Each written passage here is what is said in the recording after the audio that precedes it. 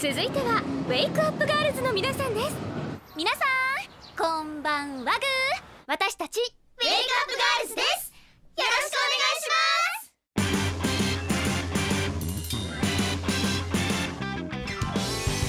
く2015年のアイドルの祭典で国民的アイドルの i1 クラブを下して優勝した私たちウェイクアップガールズ。そして一躍トップアイドルに。と言いたいところだけどいつまで新人気分なわけ？プロの資格がないんじゃないの？アイドルの仕事ってその人らしさを目いっぱい出すことだと思うんだ。そうだ。これみんなに。なんかいいねこういうの。よし頑張って。なんで私って肝心な時にこうなんだ。アイドルの祭典が遠い昔に思えるわ。着ぐるみアイドルは辛いです閉鎖。博多もですか？ちょちょあっちゃん落ち着いて。私たちにはワグちゃんがいるじゃん。終わった。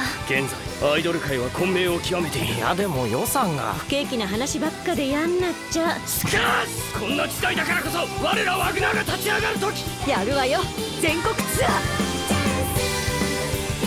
まだ目覚めない夢が永遠に続くならばただ振り返らずに前に進む私たちの物語はまたここから始まる。